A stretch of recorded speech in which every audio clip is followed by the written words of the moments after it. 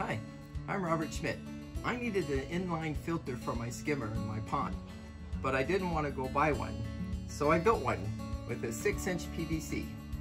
I 3D printed a bottom plug, and then I inserted a female adapter, 1 inch, and then I put a 1 inch nipple on it.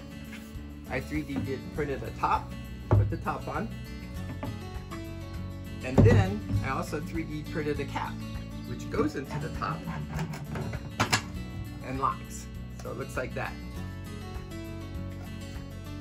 Inside of my filter, so the water for this is gonna go this way for me. I'm gonna start down here, go out this side. So the first thing I wanna put is something very coarse, like this. Put that in there, and push it all the way down to the bottom. I got another one. We'll put two deep on the bottom. Then, I'm just gonna fill the rest up with polyfill. This stuff in there. And then one more coarse.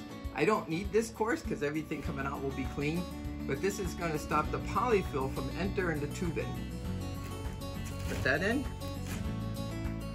I'm not gonna push that in hard. And then I just put my cap on. And I'm ready to go. Here I'm using the inline filter with my black hole skimmer and a 1 inch submerged pump. The black hole skimmer mixes a lot of air in with the water and that sponge on the pump releases micro bubbles into the water. This setup keeps the surface water clean and the deep water aerated